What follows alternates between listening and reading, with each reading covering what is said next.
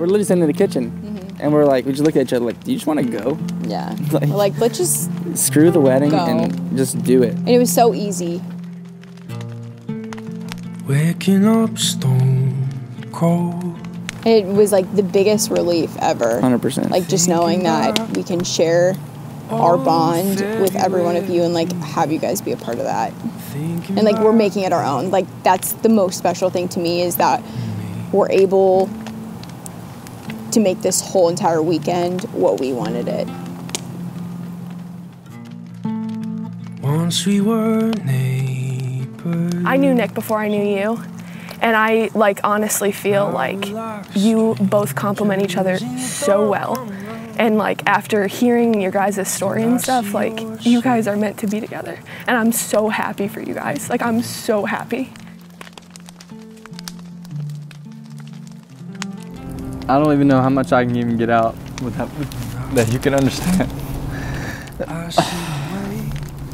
It honestly feels like it was yesterday. We would like fight on the trampoline, box in the backyard. Saying, son, A lot of people pick their parents to be the role models, but mine's been my brother my whole life. and uh, the day he met Trista, I was just like, oh, it's just a, another girl for him, I guess. And and then uh, the more I got to know Trista, the more I started to realize I'm like, wow, this, she's something special and she's different. There's something about her. I'm not sure what it is, but she's she's special.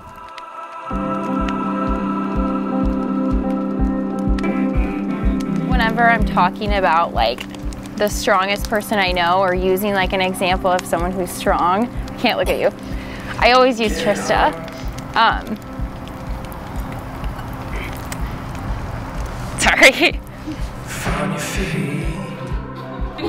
sorry. Trista did not have the best life. Um, and when you look at someone who like has turned their life around and someone who like doesn't use excuses, Trista's that person.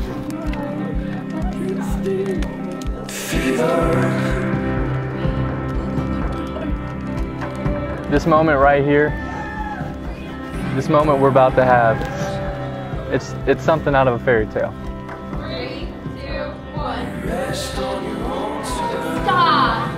Stop! Trista! Literally look like an angel. You are an angel. It's a moment where where love shows its truest form in the most beautiful way. Two people that complement each other so well that you would think they're PB and J or Salt and Pepper or I mean more appropriate Jim and Pam.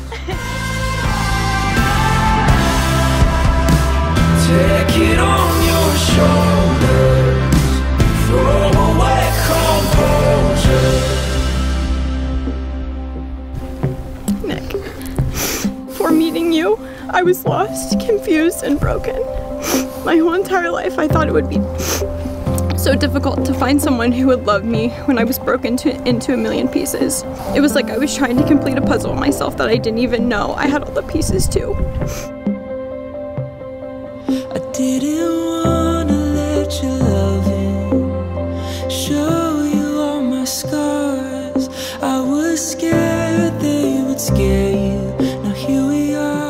Then, Nick, you came into my life and you showed me that every piece doesn't have to be in place to create something beautiful. That love can exist in the most imperfect, lost, and broken people.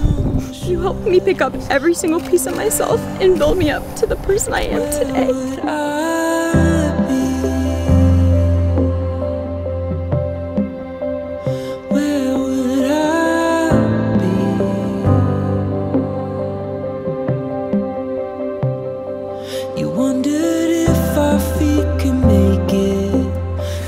Trista, from the day I met you, I knew you would change my life, and I knew you were the one.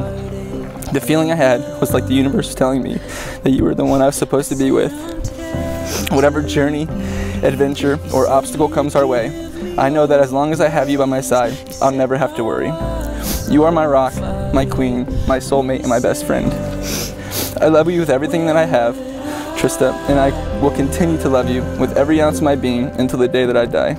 You are my entire world, and I can't wait to have a future full of happiness and love with you. Your tuna.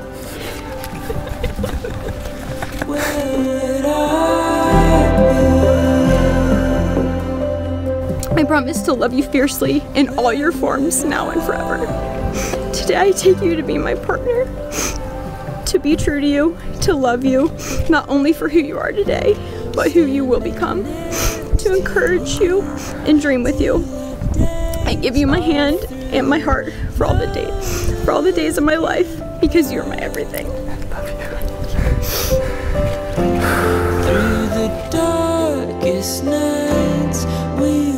Now we've heard your vows to each other and exchanged the rings. At this time, there's nothing further to do than to present you the new Mr. and Mrs. Wolf. You may now kiss the bride.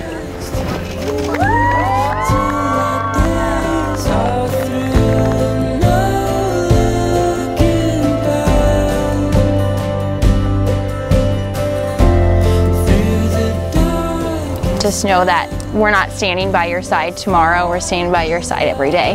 And we're here for you, and I love you.